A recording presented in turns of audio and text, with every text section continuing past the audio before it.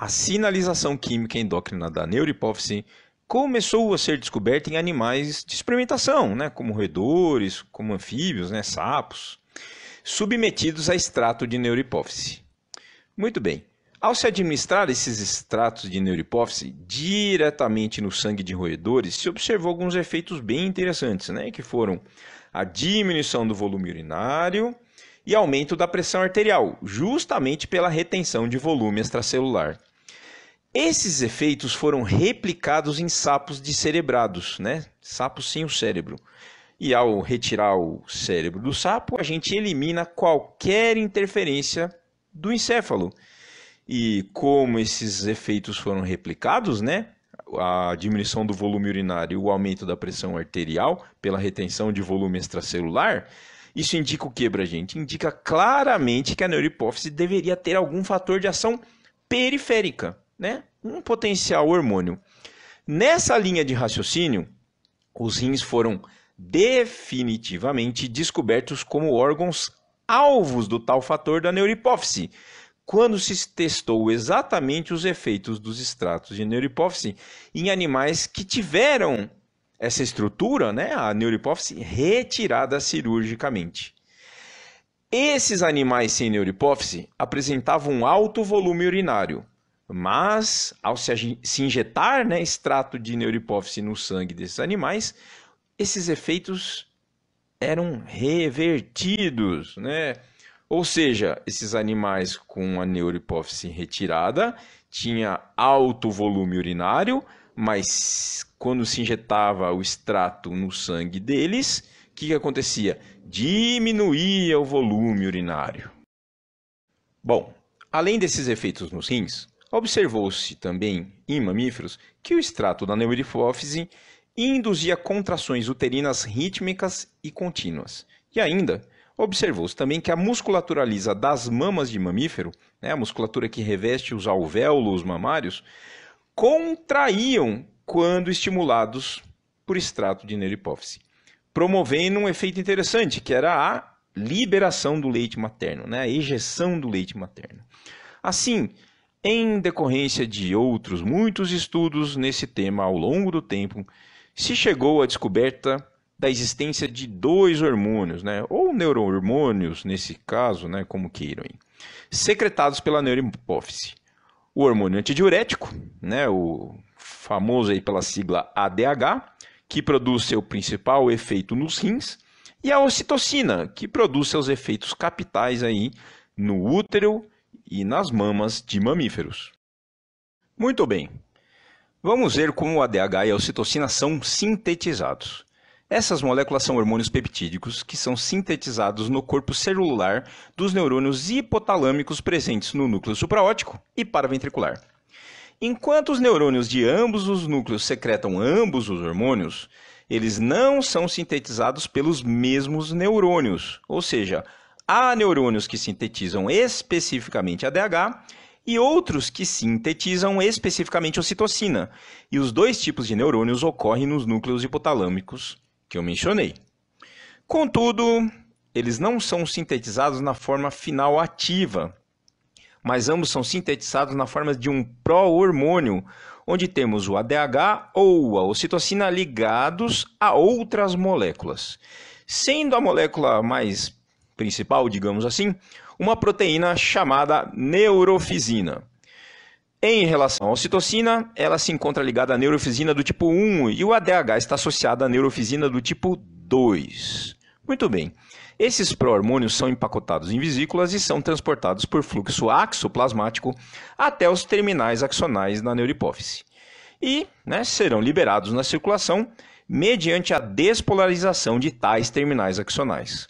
Agora, no advento aí da exocitose, né, quando o hormônio vai ser liberado para a circulação, parece que o processo que ocorre é que há uma clivagem do, do pró-hormônio, né, separando o ADH ou a ocitocina da neurofisina. Então é liberado na circulação essas moléculas de modo separado, né? O ADH separado da neurofisina, a ocitocina né, separada da sua neurofisina também. Agora, ninguém sabe direito a função da neurofisina, né? O ponto é esse. Mas ela acaba sendo liberada ali na corrente sanguínea, ok? Agora, apesar das similaridades moleculares e síntese da ocitocina e do ADH, os fenômenos que eles estão associados são bem distintos. Assim, vamos analisá-los separadamente para entender os estímulos que induzem suas secreções e os fenômenos né, com os quais estão associados.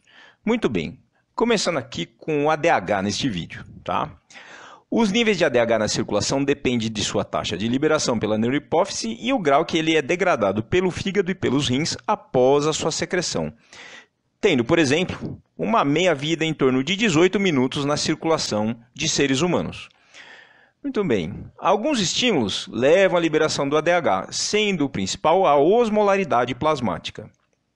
Aumentos na osmolaridade plasmática em relação ao seu valor basal induzem a liberação de ADH, enquanto que reduções na osmolaridade, né, quando há diluição plasmática, ocorre a diminuição da liberação de ADH, ou até a sua né, inibição total.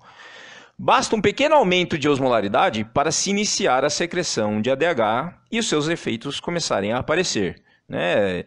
Esse pequeno aumento, eu digo algo em torno de 1% de aumento da osmolaridade. Né? 1% de aumento já é suficiente para induzir a liberação de ADH.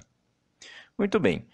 Outro estímulo importante que leva à liberação de ADH é a redução do volume extracelular, né? relativa especificamente ao volume circulante efetivo, né? Esse é o nome que a gente dá, né? Volume circulante efetivo.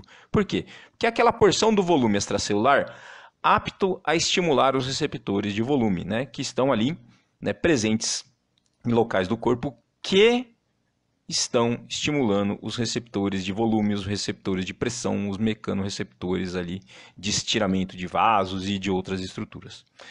Contudo, esse estímulo é de menos importância né, que a osmolaridade e apenas reduções bem mais drásticas de volume extracelular né, induzem liberações em quantidades similares ao da osmolaridade. Tá? E sim, de fato vai ter uma associação entre essas duas variáveis, né, osmolaridade e volume extracelular, em relação ao que? Em relação à intensidade de secreção de ADH. Essa correlação, né, resumidamente, seria mais ou menos assim. Haverá uma liberação de ADH em um contexto de maior osmolaridade e maior redução de volume extracelular em uma magnitude bem superior quando a gente compara a aumentos mais sutis de osmolaridade acompanhada de reduções muito pequenas de volume. Ok? Pois bem, como o aumento da osmolaridade induz a secreção de ADH? Vamos responder esta pergunta. Parece que os mamíferos possuem osmoreceptores em seu sistema nervoso central em áreas né, que não têm uma barreira hematoencefálica. Logo, consegue interagir com o plasma sanguíneo em sua plenitude. Né? Essas áreas que abrigam esses osmoreceptores são o órgão vasculoso da lâmina terminal, né, abreviada aí para você como OVLT, né, também com esse nome, e o órgão subfornical, né, abreviado aí para você, né, por OSF, ok? Neurônios específicos nessas regiões são capazes de detectar mudanças na osmolaridade do plasma. O aumento da osmolaridade está associado à abertura de canais iônicos da membrana desses neurônios, né? resultando em despolarização e aumento da emissão de potenciais de ação por eles. A redução da osmolaridade, por sua vez, induz o contrário, obviamente. Esses neurônios osmoreceptores fazem sinapses com os neurônios dos núcleos paraventricular e supraótico do hipotálamo, né? Os núcleos aí que possuem os neurônios que produzem ADH. Assim, quando esses neurônios osmosensíveis estimulam esses neurônios produtores de ADH, há a liberação do ADH armazenados nas vesículas dos terminais axonais lá da neurohipófise. Assim, o ADH vai entrar na circulação sistêmica e produzir seus efeitos. O aumento dos níveis de ADH são necessários para corrigir desvios positivos nos níveis típicos de osmolaridade plasmática. Quando há aumento da osmolaridade plasmática, há liberação de ADH, que, como seu próprio nome diz, né, o hormônio antidiurético, né, nos indica aí, né, seus efeitos tipicamente nos rins, né, que consiste em conservar água no corpo durante a produção renal de urina e, portanto, né, concentrar a urina. O que significa uma diminuição da excreção de água osmoticamente livre, né? A consequência disso é acrescentar água osmoticamente livre no corpo, né? E ao acrescentar água osmoticamente livre no corpo, ela vai atuar no sentido de diluir o meio interno, né? Que estava concentrado.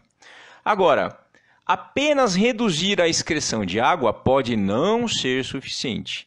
Assim, no mesmo contexto de aumento da osmolaridade extracelular, o órgão vasculoso da lâmina terminal e o órgão subfornical, que são aquelas áreas que estimulam os neurônios hipotalâmicos neurohipofisários a liberarem ADH, induzem ao mesmo tempo sede e, portanto, o potencial né, de ingerir água.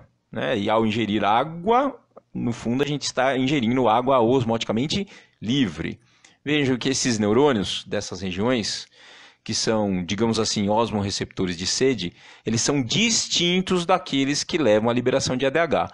Contudo, esses dois mecanismos, atuando paralelamente, né, levam a uma potencial consequência comum, que é o acréscimo de água osmoticamente livre no corpo, em prol da diluição plasmática, né, é, considerando aí que ela estava aumentada, a osmolaridade estava aumentada, né, então tem que diluir.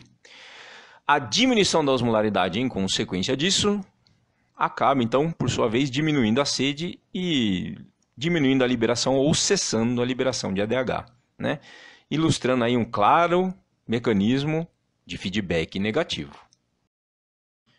Pois bem, embora o aumento da osmolaridade seja o principal fator que controla a liberação de ADH, outros fatores podem induzir também tal efeito. A gravidez é um deles. Mas um outro bem importante é a diminuição do volume extracelular. A redução do volume extracelular induz a liberação de ADH por pelo menos três maneiras. Uma delas é que a queda no volume induz a ativação do sistema renina-angiotensina-aldosterona, que é um sistema associado à conservação de sódio no corpo. Não vou detalhar aqui esse sistema, mas vou deixar para você os links abaixo sobre o manejo renal do sódio, que explica parte desse sistema assiste para você se familiarizar com esse processo, ligado aí ao sistema renina-angiotensina-aldosterona.